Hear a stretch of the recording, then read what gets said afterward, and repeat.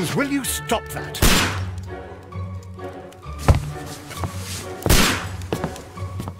You are utterly mad.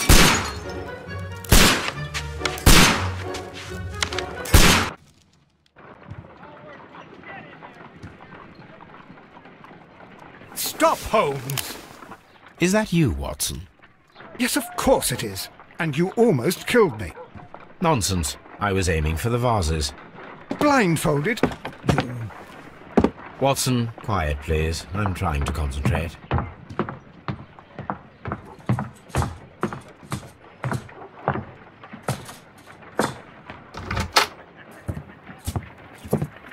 Ah, Lestrade. What is it this time? He can see me. Well, here it is, and it's a good one, Mr. Holmes. A gentleman by the name of Peter Carey, also known as Black Peter, has been murdered. A sailor, most probably. What happened here? Oh, Mr. Holmes, how could you? It's the only exercise I've had all week. A grateful client from Limoges sent me a vase collection this morning. I couldn't think of a better use for it. You're out of your mind. I missed four out of ten. Given you were blindfolded, that was very good. Can I have a try? Am I the only sane one here? I suppose that Watson is right, Inspector. A little brain work would be preferable now. Do please tell us more about Black Peter. Peter Carey, born in 1845 and 50 years old. An ambitious sort, he achieved much success in seal and whale hunting around Scandinavia. Retired in 1884 with a small fortune. He invested his money in a property called Woodman's Lee, near Forest Row in Sussex. It was where he lived for six years, and where he was found dead yesterday. Has the investigation already begun? Yes and no. In fact, this crime is so mysterious that I would prefer you to join me down there. Give me half an hour to prepare, Inspector. Take your time and join me there. I have to go through the yard first. The Merry Men struck again. What have they done this time? They robbed a powder reserve. I'll meet you at Woodman's Lee, Mr. Holmes. I should help Mrs. Hudson here. I also have several appointments that I must keep this afternoon. I shall go alone then.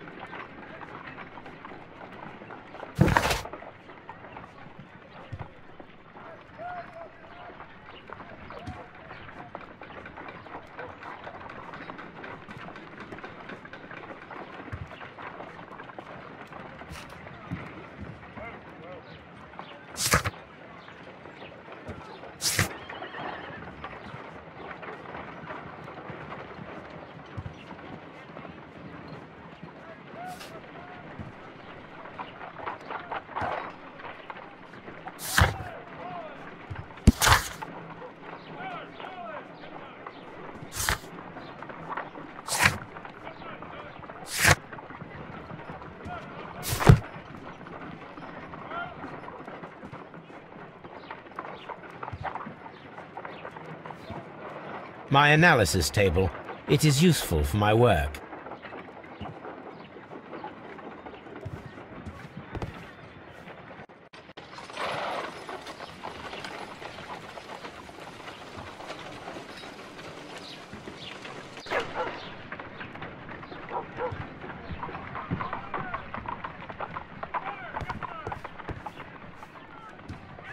You go along to Peter Carey's house. Mrs. Hudson and I will take care of the mess you've made here.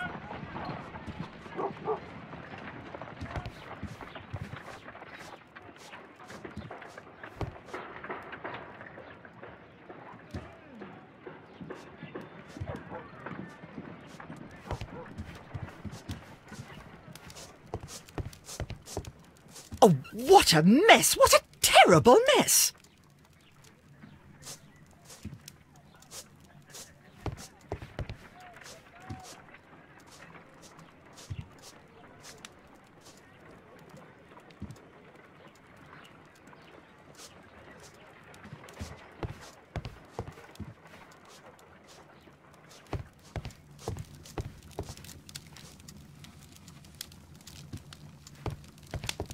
This is where I keep my post.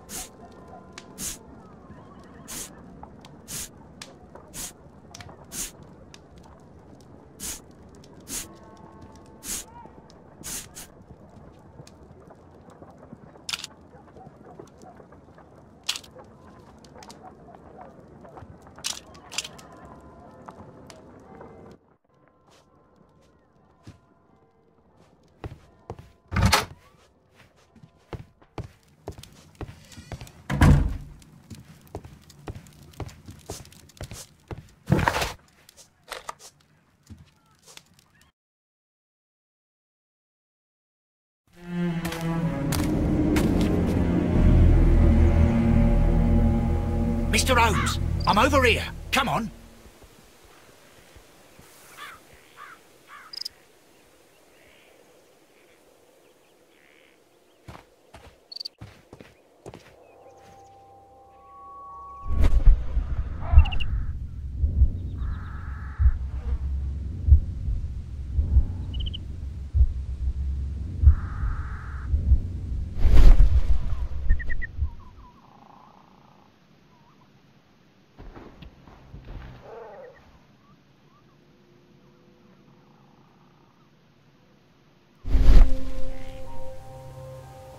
These footprints appear to be quite large.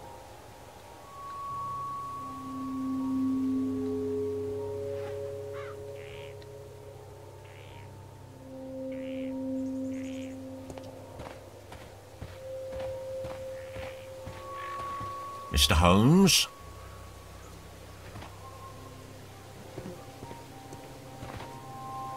It seems that the garden was well maintained.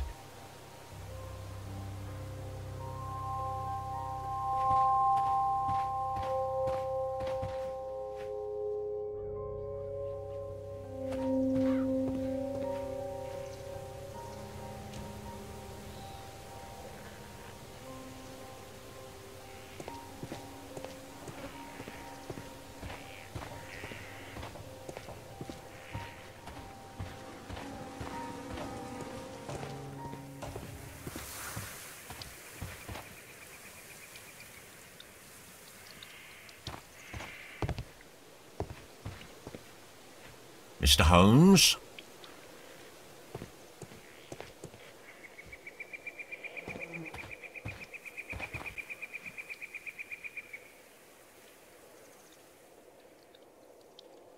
Inspector Lestrade, when will you remove my husband's body? It's sacrilegious to leave him here like this.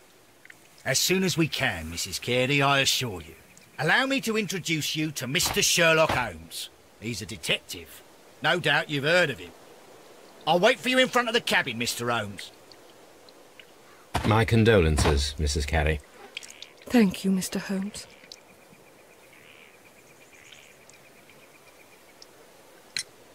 Madam, can you tell me if you saw or heard anything unusual upon the night of the murder? At two o'clock in the morning, I heard a terrible scream. But I thought nothing of it then. He would scream all the time when he was drunk.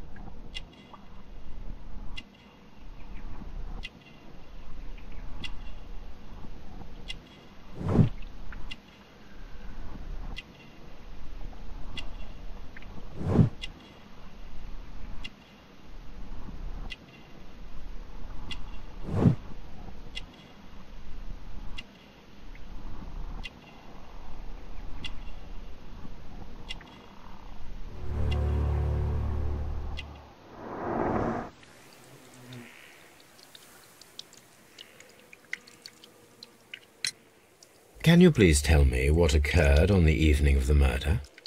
Well, Peter got drunk in the evening. He was in such a terrible temper. Usually, whenever that happened, he'd stay all night drinking in his cabin before passing out. Do you remember at what time you found your husband's body?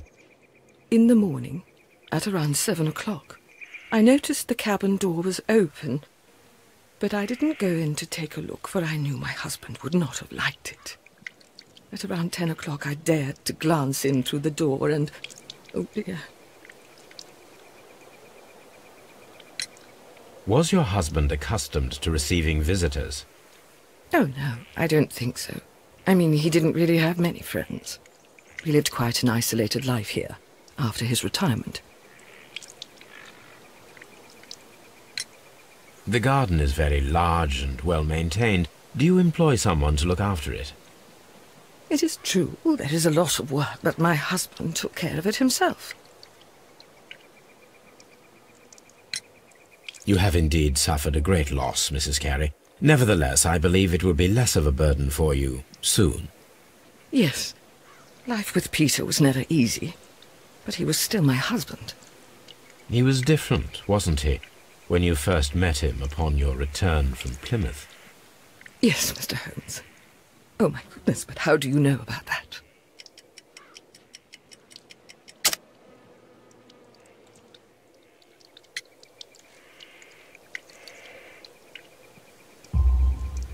You undertook a pilgrimage to the Cathedral of Santiago de Compostela when you were young. That much is evident from the rosary in your hand. The shortest route for the pilgrim from England to Spain is from Plymouth. I believe that you met Peter Carey as a young sailor there, and you married him soon afterwards. That is indeed what happened, Mr. Holmes. How extraordinary. Thank you, madam.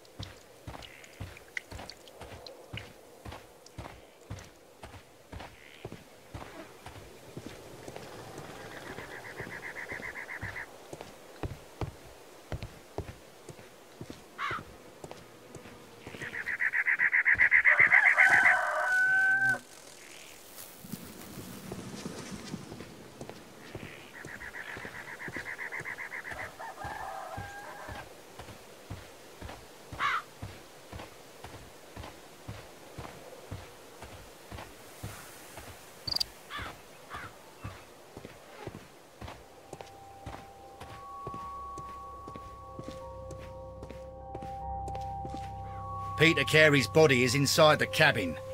We took care not to touch anything.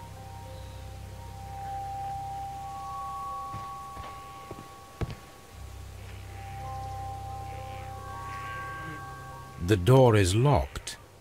Wait just a moment, Mr. Holmes, and I'll open it. I locked it yesterday to ensure that no one should enter the cabin and tamper with the evidence. Ah, good thinking. Hello, hello, hello. What is it, Lestrade?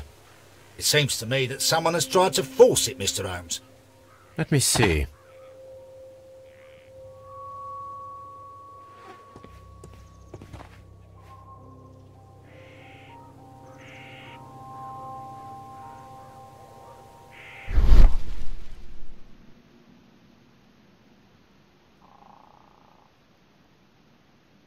These scratches are fresh. You're right. Someone tried to force open the door. I swear these scratches were not here yesterday. Our mysterious visitor came here last night. Well, he's not the man for the job. This lock is not a difficult one. Perhaps he did not have the right tool.